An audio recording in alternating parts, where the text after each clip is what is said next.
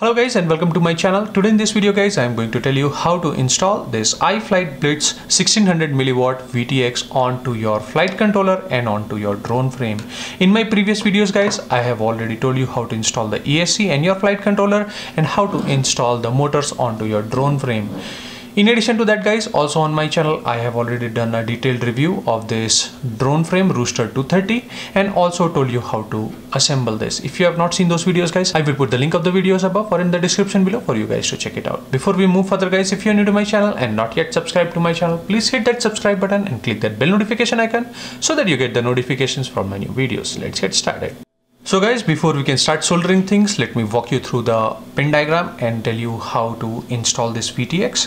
As you know guys, here on my flight controller, I have a pad for 9 volt that is going to be used to power my VTX. So 9 volt and ground and then you have a video output that will go on to the video input of my VTX guys and then you have here pin T2 which is my IRC pin connection or my smart audio so as to transmit the smart audio signal onto the VTX guys. Onto the back side of the VTX guys, as you can see here you have VBAT, ground, RX. So VBAT and ground is going to be 9 volt and ground. RX is going to the TX pin which is T2 here 5 volt out and ground. I'm going to leave it for now so as to be able to connect another peripheral in my future videos guys. And then you have a video input pin here guys onto this VTX which is going to be connected to the video output. Here you can see this is the JST wire guys that came along with this VTX guys. So here is the same red wire and the black wire which you have is your 9 volt and ground. And then blue wire is for your telemetry.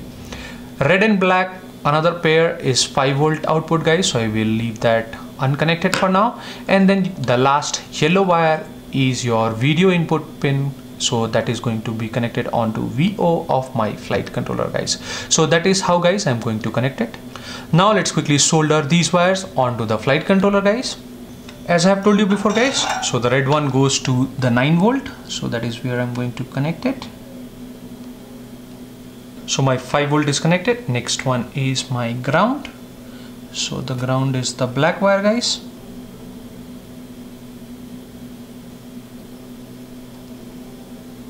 So guys this is how my ground is connected. Now let's connect the video output which is yellow wire.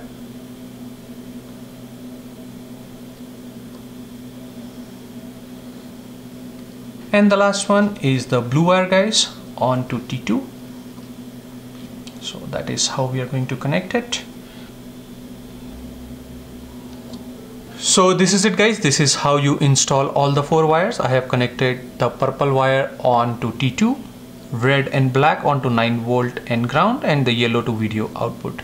So now since I have successfully connected all the wire guys as you can see so now let's quickly twist them so that they stay together and they do not mess up with other wirings in the future that I'm going to do so now that we have twisted guys I have kept another pair of black and red wire spare guys so as to be able to power another peripherals right from VTX which I have not bunched up right now here guys. So let's keep this aside. Now guys let's push this JST onto the back side using this space that you have onto the front side of the drone frame.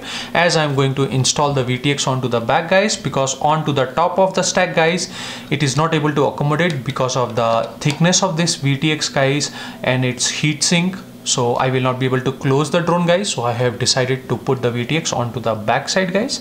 So I need this wire to be going on to the back right from here so once you push it guys onto the back you can see the JST coming out. So my JST is now outside guys. So here you can see in my previous video I have already installed the plastic nuts. So let's quickly remove them so that I can install the VTX onto the back side. And then guys also I will be replacing the plastic screws with the metal screws so which is also going to be a upgrade guys as the plastic screws tend to get damaged very quickly. So I will not be able to hold this VTX onto its place tightly if I use this plastic screws so I decided to use the metal screws. So now that we have removed all the plastic screws guys now let's quickly connect the VTX onto the JST here you can see guys here you have the pin diagram and also the JST pin here guys. So let's quickly connect the JST which is coming out using the connection that it has. So like this. Ensure that guys whenever you connect the JST you do not damage the JST pins inside guys as it will be difficult to manage thereafter because there is no soldering pads available onto this VTX guys. So that is how I'm going to install. Now let's quickly push the screws from the front using the screwdriver so that they all are inside and your stack holds. Since all my four screws are there guys now I'm going to use the metal nuts so as to be able to tighten this stack up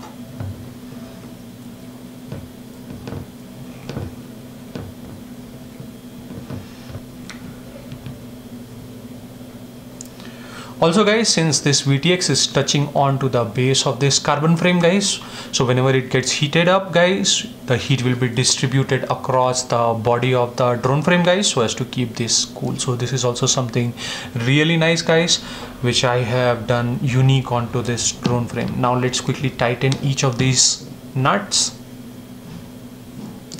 You don't need to tighten them up too much guys. All the way just enough to keep this stack at its place.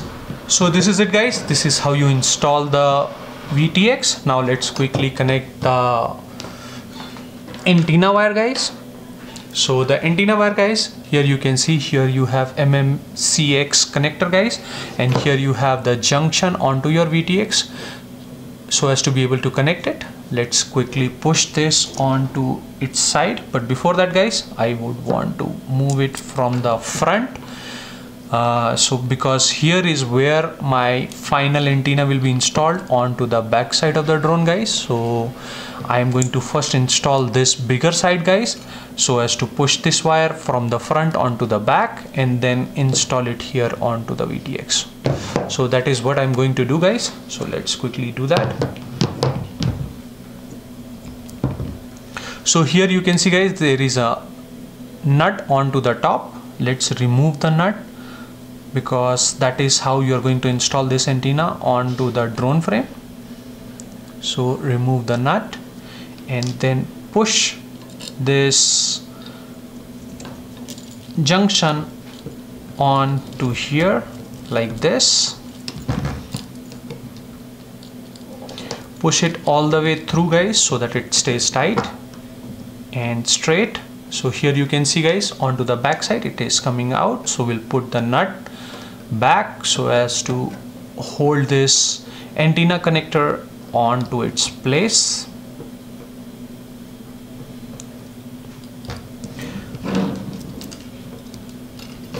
You can tighten this up as much as you can or using any tools that you have so I'm using here the plier guys so as to tighten this nut onto the front side guys so as to keep this antenna holder from moving during the flight or crashes. So now since I have tightened this up the backside wire will go on to the back from here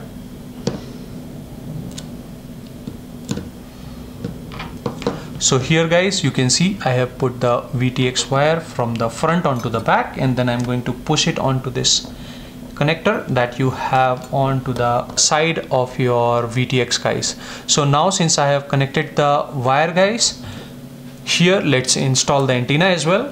Just as a word of caution guys do not ever power your VTX without the antenna connected onto the junction guys. This will immediately damage your VTX so ensure that guys whenever you power your VTX your antenna here is properly installed. Let's quickly install the antenna. This is the antenna that I'm going to use. This is an iFlight 9 dBi gain. Your 5.6 gigahertz circularly polarized antenna from iFlight that is what I'm going to use on to my drone frame here guys. Let's open the box so here you can see guys it is a circular antenna instead of a longer antenna that normally you see on the drones guys as it is circularly polarized. So this is your 5.6 gigahertz antenna and it comes with this nuts so as to be able to install it in the correct direction. Either you can install this antenna directly like this guys but it is really impossible to do that. So i'm going to use this nuts so as to be able to transform this junction at an angle so as to be able to install the antenna correctly. So let's do that. So we will connect like this.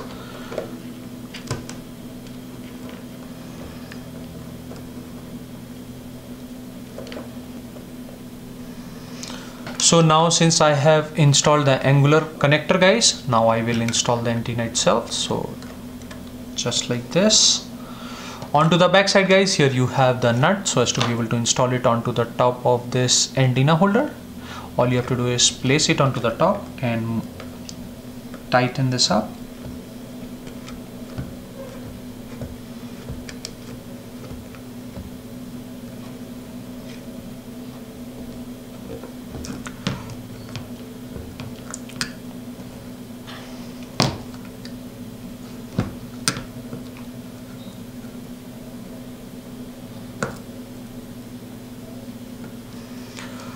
so this is how it is going to be installed onto the backside. as you can see it is facing onto the bottom. So whenever it is flying it has a circular projection onto the bottom so as to cover the wider area guys. So and these are the uh, antenna holders for your RF signal guys. So it will keep at its place so here is how you install the antenna onto the drone frame guys. So this is it guys. This concludes this tutorial on how to connect the VTX onto your flight controller and install the antenna as well. In my future videos guys I will also be telling you how to connect the DVR and your camera connection. And also in another video I will also tell you how to configure all of these in the firmware of this flight controller. So ensure that guys you stay tuned to my channel so that you do not miss out on those videos so this is it guys. I hope you guys like this video. If you guys like this video please do not forget to hit that like button. If you have any questions or comments please leave them in the comment section below. I will try and answer as soon as possible. If you are new to my channel and not yet subscribed to my channel please hit that subscribe button and click that bell notification icon so that you get the notifications for my new videos. Thank you guys. Thanks for watching and clear skies